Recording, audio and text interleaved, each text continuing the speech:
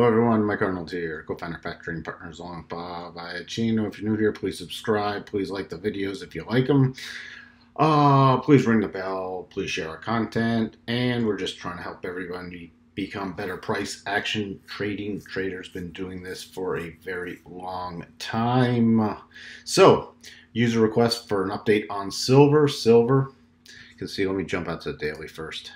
So yesterday, nice wide range bar and you see, we talked about before the divergence. We had a really nice divergence confirmation breaking down here, coming back down to the daily rotation zone.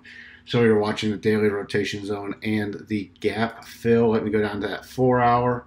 So you see it held above this 12.5% retracement. By the way, I updated the levels because we got the bigger pullback. So we'll go over that in a bit. We still don't have a full gap fill. So we'll be watching for that if we trade below the 2141 level. And then once we fill the gap, you see this prior support wedge right in here.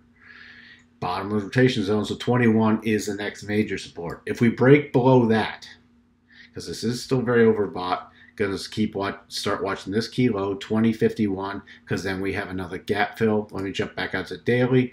So you see here, this is a critical juncture because if we do get the close within the rotation zone, I'm just going to start watching for the bigger pullback, especially closer to bottom of the rotation zone and at least the 25% level. And we do have a series of gaps and we do have that divergence. Oh, I think didn't point out again. We had a multiple divergences on the four hour, so three pokes a higher high, three pokes higher, and three lower RSI readings. So that's when you start watching. Remember, it doesn't always have to be one divergence, especially in a strong bull market. You can get multiple in a row, but then you start watching for the slightly bigger pullback, or at least move up your stops to where it makes sense that if it does pull back rapidly, you can get out and then get back in like at a key rotation area.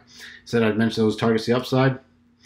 If it rotates back up, because it did hit the top of the daily rotation. So we, if it breaks out tomorrow above this uh, high, which was 2201, if we get above that high, there's a nice little resistance shelf coming in right about 2280 area, and then we'd be watching the most recent highs, which were 2323. Now back to the daily, if we get above 2323, 2416, 2478 to 2509, little wider cluster there, and then 2632.